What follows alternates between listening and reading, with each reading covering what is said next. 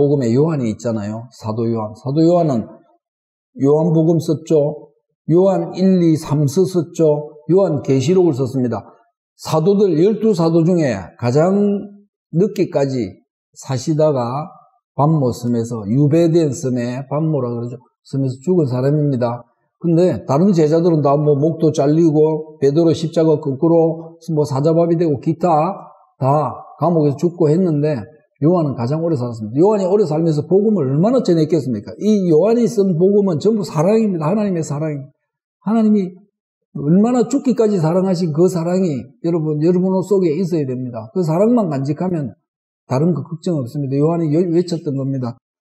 그랬던 요한이 성경에는 없습니다. 그 당시에 전성을 보면 요한이 살았을 때 가장 늦게 살면서 계속 예수를 전하니까 이 로마에서 화가 날 거 아닙니까? 제자들 다 죽였는데 감옥에 넣고 목 치고 사자밥 대고 다 죽였는데 이게 하나 남아가지고 그죠? 요리조리 피하면서 계속 복음을 전하니까 이 자식 너 맛 좀 봐라 이래서 코를 걸고 꼬투리를 잡아가지고 크다란 소치를 갖다 놓고 사람들 많은 광장에 소치를 갖다 놓고 밑에 장작을 베고 피웠답니다. 요한. 그 뜨거운 물에 들어가라. 사람들 많은 사람 앞에서 이런 죄를 너희들이 음, 너희들이 벌 받게 될 것이다 하고 본보기로 로마에서 그러다 펄펄 끓는 물에 들어가는데도 요한은 얼굴이 뭐 우리가 얼마나 두렵겠습니까? 이제 뭐 얼굴 얼굴이 풀이 죽어가지고 완전히 상해야 되는데 아주 빨간빛으로 아주 여유롭게 물속에 딱 뜨거운 물이. 그런데 이제 삶아져야 되는데 아니 5분 10분 있어도 그대로인 겁니다. 이 사람 사람이 그대로 있어요. 모두가 살아계신 하나님을 보게 되었다. 이런 전성이 있습니다. 이게 성경에 안 들어와 있지만 흐르는 이 사도 요한의 이 전성을 보면 그렇게까지 아니 그 사람이 신입니까? 아니죠. 사도 요한 사람입니다. 그냥 사람이고 예수의 제자였습니다. 3년을 다르던 제자였습니다. 그러면서 그 예수님의 그 사랑을 보고 그 삶을 보고 그대로 사람들에게 전하면서 복음을 받아들여야 됩니다. 예수를 믿어야 됩니다. 이랬던 사람입니다. 근데 어떻게 그, 그 아니 어떻게 살 수 있습니까? 이걸 보고 이걸 보고 성령 충만이다 이렇게 이야기하는 거예요. 성령 충만이 뭐냐? 하늘의 영이 하나님이 내 안에 가득 차는 걸 보고 성령 충만이다 이렇게 하는 거예요. 우리가 살면서 내 마음이 아니고 하나님 나의 아버지 내 인생의 전부 하나님은 위대하신 분 영광의 주 모든 것을 하실 수 있는 분 내 전체를 다 아시는 분 나는 그분 안에서 살고 그분이 내 안에 사신다 하는 것이 충만한 사람 세상의 어떤 것보다 어떤 상황 어떤 형편보다 하나님을 내 우선적으로 담고 가득 차 있는 사람이 성령 충만한 사람입니다. 그러면 누가 역사하느냐 하나님의 역사가 거기서 일어나는 겁니다. 성경이 그렇게 말씀하시는 예수님 탄생하실 때 세례 요한에게 세례를 받고 물 위에서 올라오실 때 하나님이 봐라 내가 가장 기뻐하는 자다. 그렇게 하면서 성령이 충만하다. 내 영이 충만한 자다. 이렇게. 그게 무슨 말입니까? 제 마음속에는 나 외에는 다른 것들이 들어올 수가 들어오긴 들어오죠. 사니까 예수님도 사람으로 오셨는데. 근데 내가 충만하다. 이 말, 내가 제일이다. 이 말이죠. 그렇게 될 때 여러분 세상이 별로 두렵지 않게 됩니다. 하나님이 역사하시게 된다는 이 성경을 성경은 다 그렇게 믿으라고 그것을 너희들이 가지라고 쓰여 있는 책이다. 프로크루스테스라는 그리스 로마 신화에 보면 그리스 신화에 보면 괴물이 있습니다. 프로크루스테스입니다. 이름이 이거 뭐 거인인데 사람 괴물인데 괴물 사람 같은 괴물인데 이 사람은 자기 신념이 자기 신조가 자기 생각이 내하고 똑같은 키를 가진 사람만 살아야지 세상에 아름답고 행복하다. 이런 신념. 그러니까 길거리 다니다가 지나가는 사람 잡아다가 그 기준이 어디냐? 자기 키하고 맞추는 자기 침대인 겁니다. 자기 침대 기준하고 딱 맞아야 이게 사람이 제대로 사는 행복한 세상인데 그보다 키가 크면 어떻게 돼요?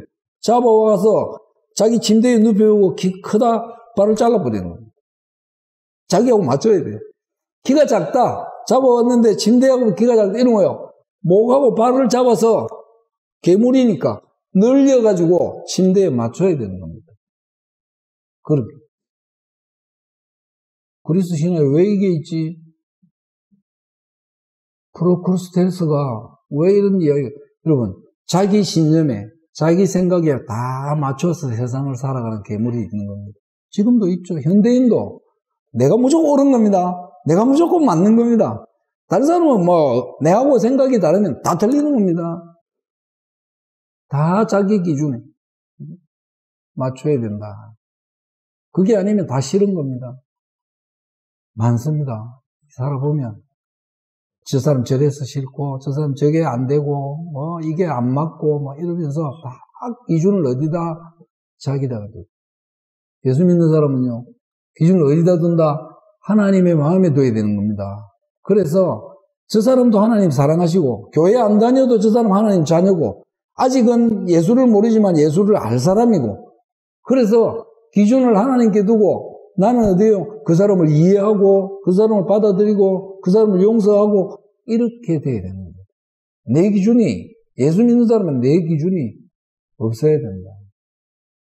세상은 현대인들도 다 어떻게 해요? 프로크루스테스처럼 다 자기 괴물이 되어 있는 겁니다. 그걸 모르는 겁니다.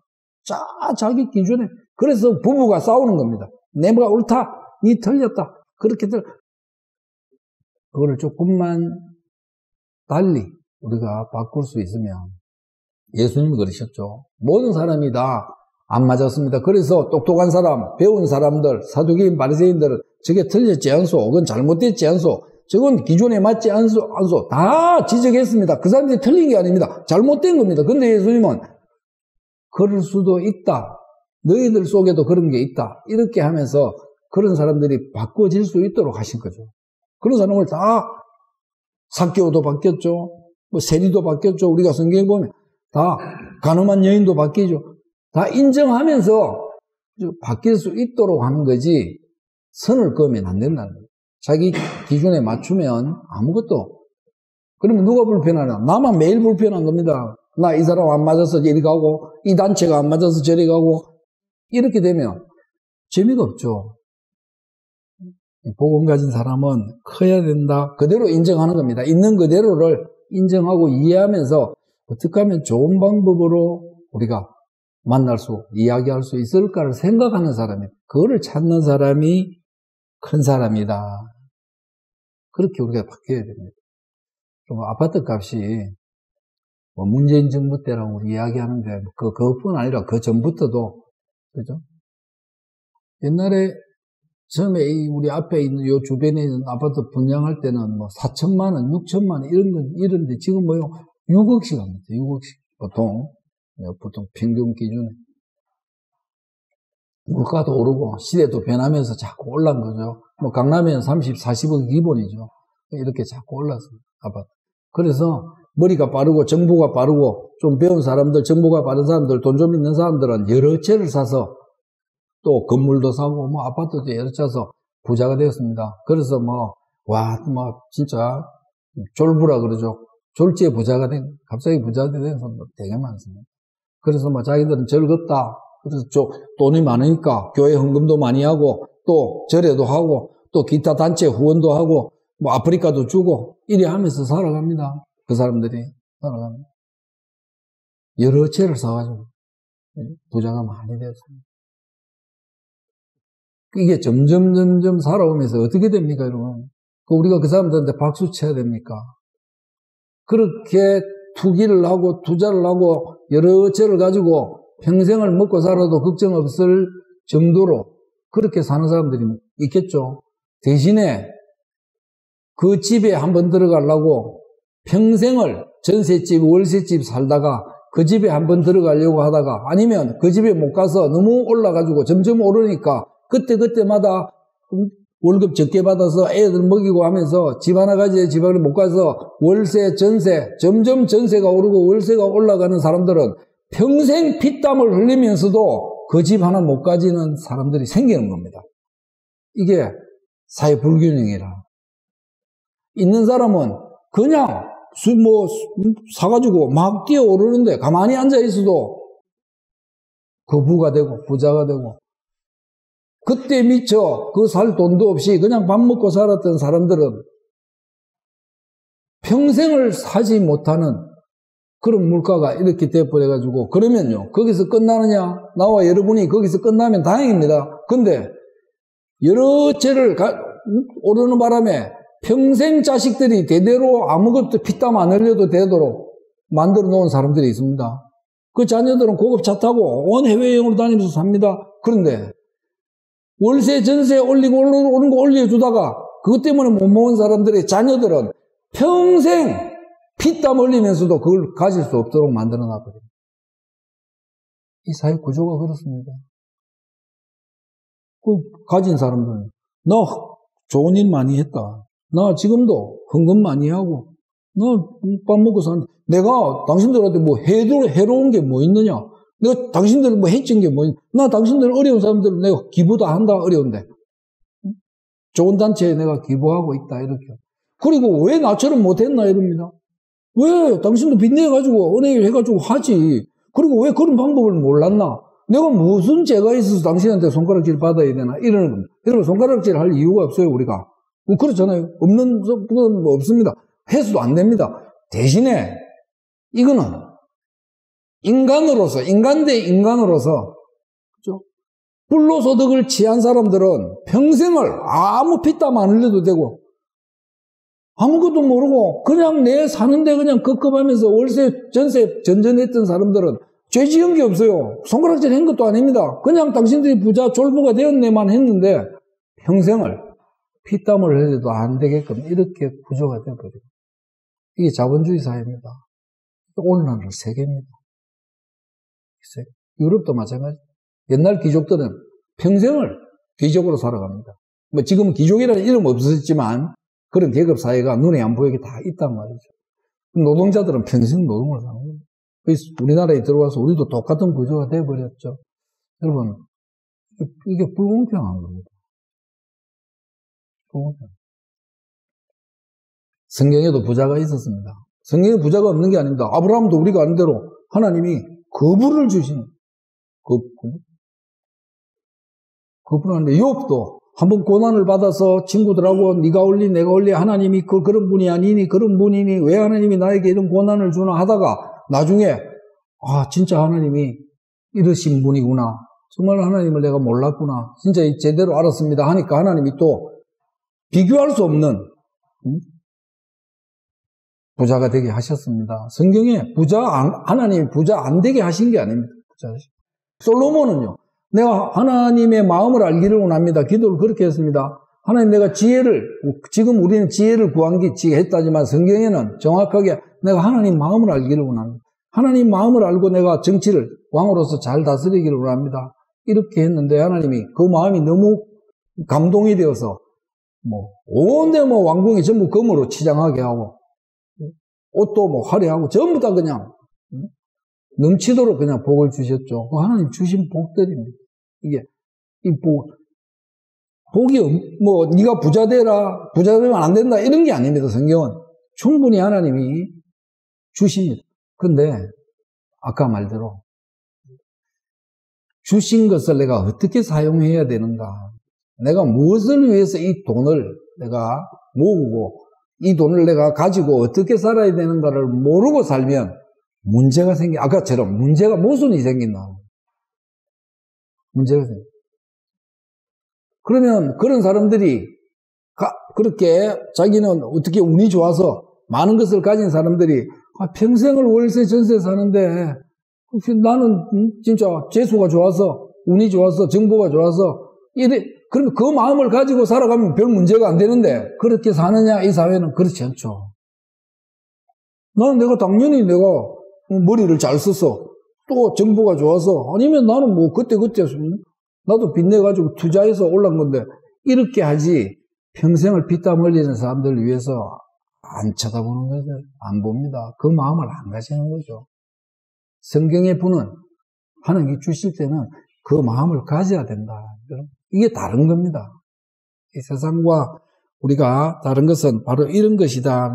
여러분 2년에 한 번씩 2년에 한 번마다 여러분 정기 검, 검사 하잖아요. 건강검진. 저도 2년에 한 번, 여러분도 2년에 한 번입니다. 국가에서 이제 성인이 되, 성인이 되면 이제 의료보험비에서 해서 건강검진을 받습니다. 건강 정기적으로 받는 거죠. 또 때로 몸이 좀 이상하면 수시로 가서 건강검진을 받는 겁니다. 왜요? 두면 큰 병 되면 큰일 나니까. 그래서 미리 미리 가서 우리가 검사를 받는 겁니다. 다 검사 받죠. 그래서 몸에 대해서 오래 살려고 안 아프려고 우리가 건강검진은 다 누구나 하고 있습니다. 그런데 여러분 그렇게 되는데 우리 안에 있는 내 안에 있는 뭔가 잘못된 것들에 대한 생각, 마음을 금진하는 곳은 없다는 겁니다. 이게 없다. 내 안에 뭔가 잘못된 것들이 있는 것을 1년에 한 번이든 한 달에 한 번이든 2년에 한 번이든 진짜 다 내어놓고 뭐가 잘못됐고 어떻게 고쳐야 되고 병원 그렇잖아요. 발견하면 고치잖아요. 수술을 한다든지 뭐 약을 먹는다. 근데 이거를 가지고 어떻게 고쳐지는가 검진을 하려고 하는 사람은 없다. 특히 욕심을 검진하는 사람들은 아무도 없습니다. 제가 알기로는 거의 아무도 없습니다. 혹 도둑질한 거 있잖아요. 거짓말한 거, 화를 막 내가 남한테 막 성질을 냈더니 아내에게 남편에게 막 친구들한테 직장 후 상사한테 직장 또 사원한테 높은 사람이 충분히 우리 회개합니다. 하나님 내 성질 좀 고치겠습니다. 내 도둑질 안 하겠습니다. 술, 알코올 중독 내 이제 끊겠습니다. 충분히 그래. 여자 내가 너무 밝혔습니다. 내가 끊겠습니다. 회개 많이 합니다. 그래가 정말 하나님 착하게 살겠습니다. 이제는 성실하게 살겠습니다. 우리 점검합니다. 대신에 내 안에 얼마만한 탐욕이 넘치는 욕심이죠. 탐욕이라는 것은 욕심이 넘친다고 탐욕이 탐욕이 내 안에 있는지 이거를 검진하는 사람은 교회 다니는 사람 중에 내가 그거 두고 회개했다는 사람은 한 번도 못 봤습니다. 끝도 없이 가지고 있는 겁니다. 끝도 없이 가져야 되는 것처럼 우리가 살아가는 겁니다. 그러다 보면 어떻게 해요? 나로 인해서 아까 우리 불균형들이 막 예수님이 계신 이유는 하나님이 예수님이 이 땅에 오셔서 하나님 나라를 만들자는 이유는 바로 그겁니다. 바로 같이 사람답게 같이 살아야 된다. 왜 하나님의 다 같은 자녀니까. 근데 세상은 이걸 모르는 겁니다. 내만 열심히 공부하고 내만 죽도해서 벌어서 내가 잘 살면 되지. 이게 세상의 이치입니다. 성경은 네가 죽도록 벌어라. 그래 열심히 공부해라. 그래 잘 되고 나면 그게 네 돈이 아니다. 하나님 것인 것을 알아야 된다. 이거에 우리 예수 믿는 사람하고 세상 사람하고 다르다는 겁니다. 이게 다르다. 이게 없으면 검진을 못 하는 거죠. 알아요. 욕심 부리면 안 된다는 거죠. 저 여러분 다 압니다. 너무 욕심 부리지 마라. 그건 좋은 거 아니다. 우리 다 압니다. 그런데 남은 안 된다 하면서 말은 하는데 내 안에 있는 욕심은 괜찮은 겁니다. 나는 부자 되고 싶은 겁니다. 나는 내 마음대로 살고 싶은 겁니다. 이걸 하나님 앞에 내놓고 검진하는 사람은 없더라. 이걸 두고 회개하고 고백하면서 하나님 내 안에 욕심이 너무 많습니다. 정말 하나님 주신 지금만 해도 내가 충분한데 나는 또 다른 욕심을 가지고 삽니다. 자식도 내 앞으로 더 큰 집도 더 좋은 차도 또 더 좋은 옷도 더 좋은 것들 여기에 대해서 우리가 해결 안 합니다. 아니 없어요 그냥 거의 더 많이 주시면 내가 좋은 일 하겠습니다. 언제요? 더 많으면 또 더 많아야 되는데 더 많아야 되는데 이렇게 되는 게 인간의 욕심입니다. 이게 우리 마음입니다. 참, 그러니까 이 탐욕은 어떻게 됩니까? 눈도 멀게 하고 마음도 멀게 하죠. 내 영혼이 점점 공허해지는 겁니다. 이게 세상에 돈이 그렇게 만드는 겁니다. 돈이 그렇게 우리 마음을 짓밟는다 이 말이죠. 탐욕을 가진 사람은 여러분 정상이 어떻느냐? 점점 모으려고 하죠. 어떻게 하든지 내가 지금보다는 더 많이 모으려고 하는 겁니다. 왜 모아야 되느냐 물어보면 자녀들 돌봐야 되잖아. 자녀들이 편안하게 해야 된다. 애들 학비, 평생 크는데 뭐 들어가는 것들, 그 다음 뭡니까? 내 노후 준비, 내가 평생에 걱정 없이 살려고 하면 노후 준비. 또, 혹시 아프면 어떻게 되나? 혹시 병이라도 생기면 병원비 있어야 안 되냐? 이게 다 우리가 돈을 모으는 이유입니다. 다 보통 사람들이 일반 사람이든 뭐 있든 없든 다 보통 사람이 우리가 욕심을 가진 이유는 그런 거죠. 살기 위해서, 자식을 위해서, 또 혹시 모를 돌발 사고를 위해서 내가 돈을 모아야 되겠다. 이렇게 우리가 생각합니다. 질병에 대비해서 모아야 되겠다. 이렇게 하죠. 그러다 보니까 여러분, 뭐예요? 마음속에 늘, 늘 마음이 부족하니까, 공허하니까, 걱정, 걱정이 많은 겁니다. 근심이 많은 겁니다. 아이고, 언제 저거 만드나? 언제 내가 이거 학비 다 걱정 없이 되나? 언제 내가 이거 노후 생활에 편안하게 살 수 있나? 이게 우리 안에 늘 있는 겁니다. 그냥 이게 뭐 사라지지를 않아요. 지금 밥 먹고 사는데도 걱정이야. 왜? 노후를 또 생각하네.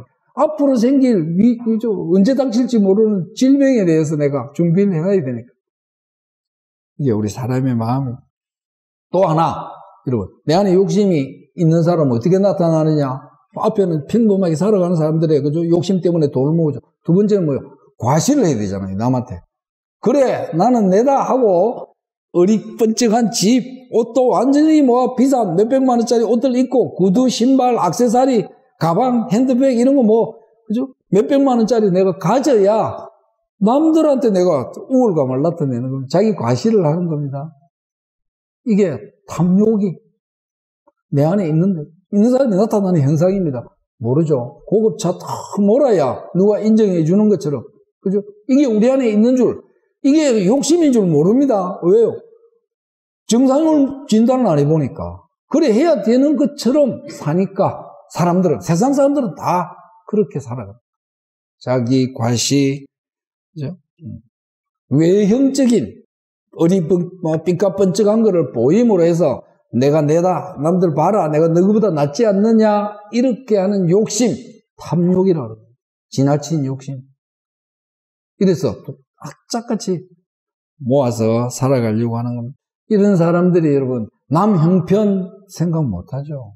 내가 지금 그거 학비 만들고 노후 자금 만들고 혹시 모를 질병에 대해서 병원 병원 또 남에게 과시하려고 하는데 지금 남 형편 남 생각 그런 거 할 시간이 없어요. 그럴 여유가 없습니다. 이게 욕심입니다. 욕심이 내 안에 있는 사람. 내 편안한 탐욕에 빠져 있는 줄 모른다. 모르죠. 여러분, 가족을 위해서 내가 악자까지 모으는 게 잘못된 게 아닙니다. 잘못된 게 아닙니다. 내가 과시하고 하는 거 있으면 그래 하죠. 그게 잘못된 게 아닙니다. 세상에서는. 그런데 내가 이 돈을 내가 이렇게 많은 것을 하나님께 받은 것을 내가 어떻게 써야 되는지를 모르는 사람이면 그 사람이 죄를 짓고 있다는 거예요. 그 사람은 탐욕에 빠져 있다는 거예요. 세상은 다 탐욕에 빠져서 살아. 끝이 없이 살아가는 거예요. 여러분 성경 한번 보겠습니다. 누가복음 12장입니다. 13, 14, 15절이 한 이야기니까 같이 읽어보겠습니다. 무리 중에 한 사람이 이르되 스님님 내 형을 명하여 유산을 나와 나누게 하소서 하니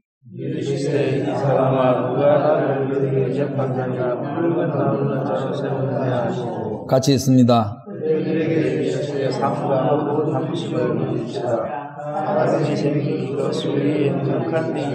아니하니라. 예.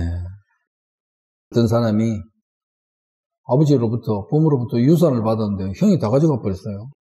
형이 많이 가지고 그러니까 선생님 그 형으로부터 재산 좀 똑바로 같이 나누게 좀 이야기해 주세요. 이렇게 하니까 예수님이 탐심을 물리치라 이렇게 삼가 네 마음을 돌아보고 탐심 지나친 욕심을 버리라. 사람의 생명이 살아가는 것이 먹고 사는 데 있지 않다. 진짜 중요한 것은 진짜 행복한 것은 많이 가지느냐 적게 가지느냐 있지 않다. 그러면서 뒤에 16절부터 비유를 쭉 이야기합니다. 한 부자가 곡식이 너무 잘 됐어요. 막 차고 넘쳐. 창고를 하나 더 지어서 내가 평생 먹고 살아야 되겠다 이러니까 예수님이 그러는 겁니다. 평생을 내가 살아, 쌓아놓고 나는 걱정 없이 살아야 되겠다. 이렇게 하니까 오늘 밤에 네 생명을 가져가면 그것이 무슨 소용이 있느냐. 생명이 중요하지 않느냐, 지금. 사는 게 중요하지 않느냐. 행복하게 사는 게 중요하지. 그렇게 쌓아놓고 평생 동안 사는 게 그게 진짜 행복이냐? 이렇게 하면서 자기를 위해서 재물을 쌓아놓고 하나님께 대하여 부여하지 못한 자가 이런 사람들이다. 이렇게 이야기합니다. 이 세상의 모습, 세상의 모습을 그대로 이야기하시면서 탐심을 버려야 된다. 이렇게 합니다. 여러분, 예수님이 세상에 오셔서 경고를 할 때, 이게 죄다 할 때는 뭘 죄다? 뭐예요? 물론 하나님 모르는 게 죄죠. 하나님 안 믿는, 뭐, 그죠? 안 믿는 게 죄죠. 그건 기본이고, 두 번째, 이 세상의 죄를 보고 뭐가 또 뜨니까 돈 문제를 이야기하는 겁니다. 돈, 돈에 대해서 욕심을 너무 지나치게 가지는 것을 죄다. 질병, 그죠? 질, 나쁜 병, 생각들, 이게 제가 다 죄다. 질병은 몸이 아픈 것도 질병이지만 우리 속에 있는 많은 잘못된 생각들, 하나님 마음이 아닌 하나님 말씀이 없는 그죠? 인간적인 생각들이 죄다 이렇게 이야기하십니다. 또 하나는 이야기하시면서 예수님이 악한 마음이 죄다 이 말이죠. 그게 질병인 겁니다. 악한 마음이 죄다. 예수님 그 이야기. 근데 우리는 돈이 죄가 된다는 걸 생각 안 하는 겁니다. 하나님 복 주셨잖아. 아브라함도, 요업도, 솔로몬도. 우리도 복 받아야 되면 교회마다 외칩니다. 뭐 헌금 잘하면 11조 잘하면 뭐 하나님 말씀대로 살면 기도하면 복 줍니다. 뭐 천만의 말씀. 복도 복이지만 잘 알아야 된다 이 말. 모르고 복 받으면 오늘 이런 이야기가 나오는 겁니다. 탐심을 물리치라 이렇게 이야기합니다. 끝이 없다. 여러분 이, 이 돈에 대해서는 예수님 말씀은 돈을 너가 마음에 두기 시작하면 이거는 끝이 없는 욕심이 탐심이 되기 때문에 물리쳐야 된다. 세상은 여러분 돈이 최고라고 다 그럽니다. 다 그럽니다. 뭐 쉽게 그지 뭐뭔 소리 하면 돈이 최고지 다 그 이야기 너무 많이 하고 너무 많이 듣습니다. 다 사람들은 돈이 최고인 시대에 살고 있습니다. 그래서 돈 벌려고 지 몸도 희생해. 하루에 적당히 그 건강 상태로 8시간 일해야 되는데 12시간씩 일해요. 왜? 잔업이다, 무슨 수당이다 해서 막 엄청나게 해.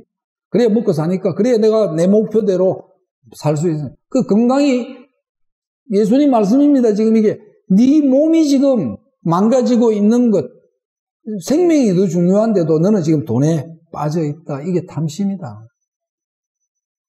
돈이라면 남 속이고 싸우고 다 탐심이 드는 거야. 끝도 없는 무서운 병인 줄 모른다. 그게 얼마나 무서운 병인 줄, 돈에 빠져 있는 마음이 얼마만큼 큰 병인지를 사람들은 모르고 있다. 이런 사람들 많죠, 여러분. 자녀도 필요 없어요. 아내도 필요 없어요. 남편도 필요 없어요. 돈이면 되는 겁니다.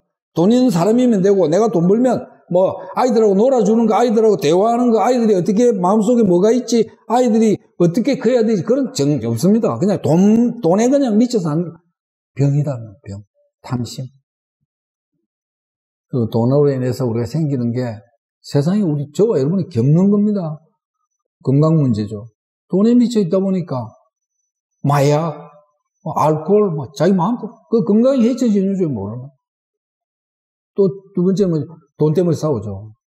사기치고 속이고 거짓말하고 왜 오직 내가 그래야 내가 이익을 얻을 수 있으니 이런 일이 비일비재합니다. 도둑질하죠, 사기치죠, 또 강도하죠, 살인하죠. 돈으로 인해 오늘 지금 그 예수님이 그 이야기입니다. 얼마만큼 돈에 빠지기 시작하면 탐심을 안 물리치면 네 마음이 얼마만큼 불행한가 알아야 된다.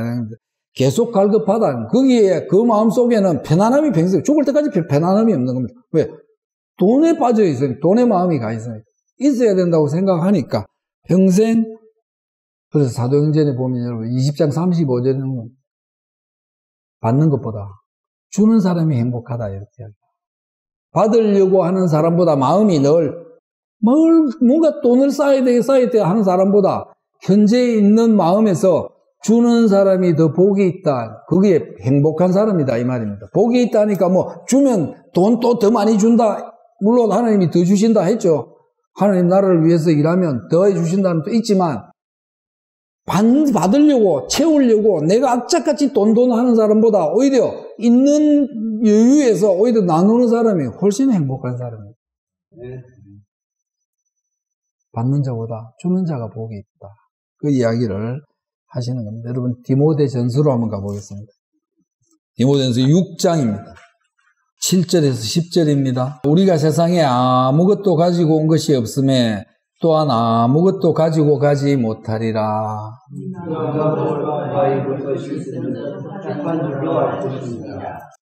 부활이여 하는 자들은 시험과 올무와 여러 가지 어리석고 해로운 욕심에 떨어지나니 곧 사람으로 파멸과 멸망에 빠지게 하는 것이라.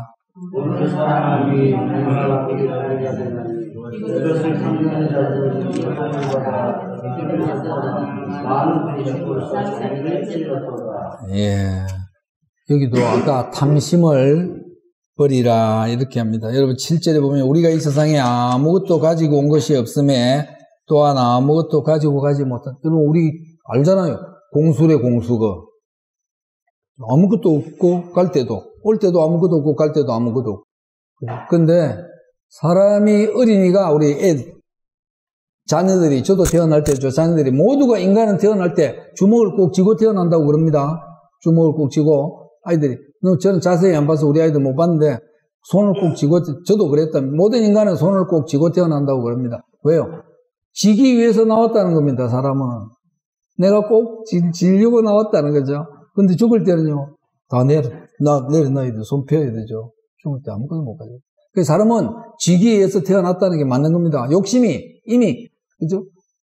하와나 아담의 욕심이 인간에게 있는 거죠. 뭔가 내 필요한 것을 가지기 위해서. 그죠? 그런데 공술의 공수가다.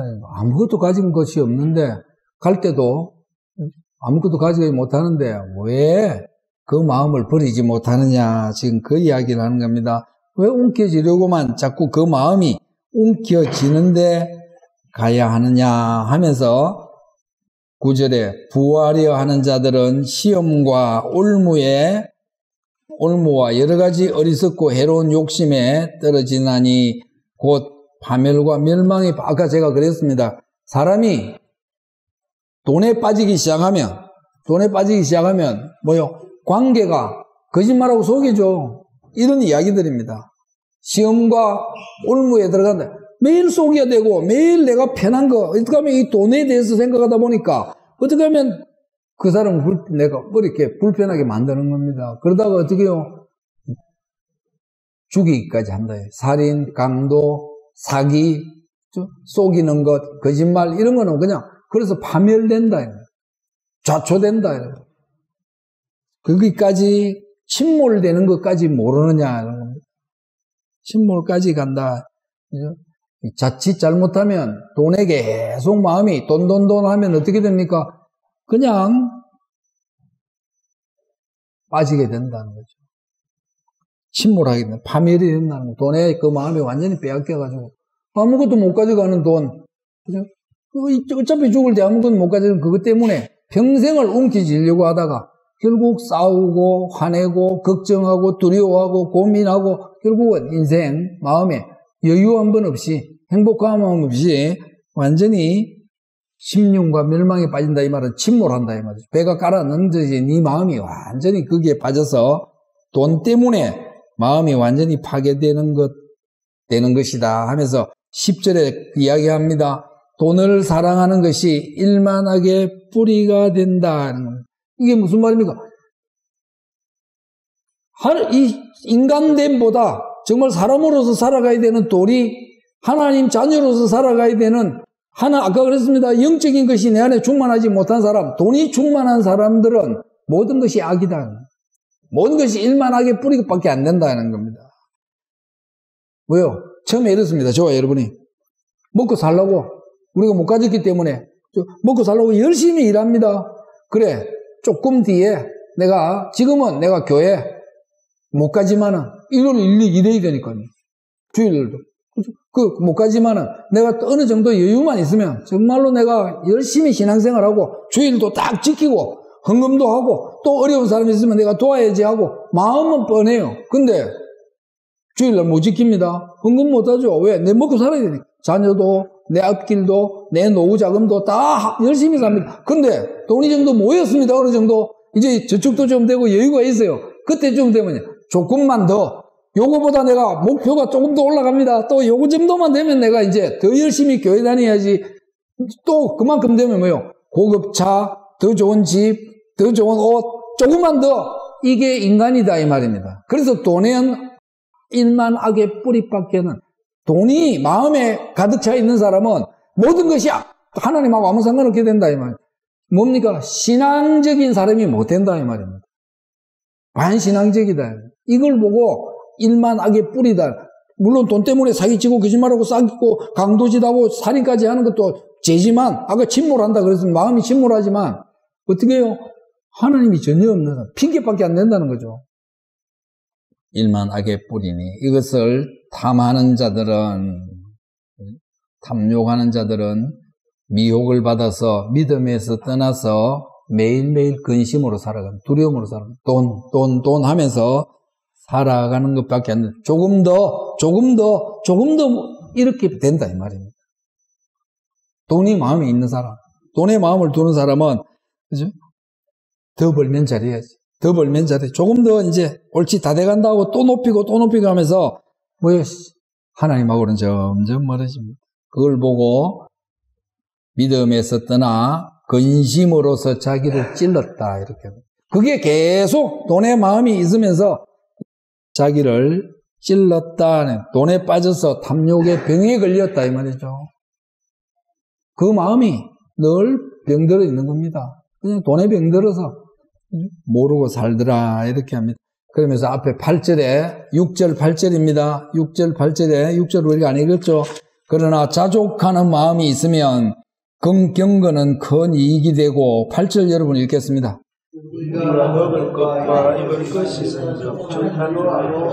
예. 지금 내가 많이 가졌건 적게 가졌건 지금 내가 먹고 사는 것에 만족하고 그죠? 하나님이 계시니까 좀 없어도 좀 있는 것은 하나님 좋은 데 쓰라고 나누고 커피 한 잔, 또 밥 한 끼 사면서 이렇게 현재 있는 것에서 하나님으로 가득 차지 않고 하나님 중심이 되지 않고 하나님보다 돈이 우선되어 있는 사람들은 앞에 이야기했습니다. 쭉쭉 다 아무것도 못 가져갈 거. 세상에 빈손으로 와서 빈손으로 가는데 왜 거기에 빠져 있느냐? 두 번째는 뭡니까? 이미 침몰하는데 그거 하다가 매일 건강해지고 또 싸우고 화내고 속이고 거짓하다가 결국 뭡니까? 돈에 일면 자기 자신이 완전히 어디 빠져 병이 어떻게 들었는지도 모르고 살아가는 그것보다는 그것이 있으면 뭐가 없다? 육절에 경건이 없다는 겁니다. 하나님을 가까이 하려고 하는 하나님 뜻으로 하나님 마음으로 하나님께 기도하는 정직한 자세, 간절한 자세가 나올 수가 없다 이런 거. 그건 나올 수가 없죠. 왜? 하나님께 기도하는 것도 돈인데. 돈 때문에 기도하는 사람인데. 그 돈이, 돈이 일만 악의 뿌리라는 것을 모르고, 그냥 세상 사람들처럼 그렇게 살아가는 사람들은 하나님이 차지할 자리가 없지 않느냐, 이렇게 이야기해요. 그러면 그 사람은 뭐요? 탐욕에 빠져서 매일 자기 안에 병이 있는지도 모르고, 검진도 못하고, 나는 죄 없다. 돈이 무슨 죄냐? 이렇게 살아간다, 이 말이죠. 얼마나 불행합니까? 그러니까, 우리가 먹을 것이 있는, 먹을 것과 입을 것이 있은즉, 족한 줄을 그게 행복 거기서 행복을 찾고 그죠? 거기에서 욕심 안 내고 거기에서 남들하고 정말 사이좋게 재미있게 지내면서 그것이 진짜 삶이 아니겠느냐 하나님 원하는 삶이 바로 이런 것이 아니겠느냐 이렇게 합니다.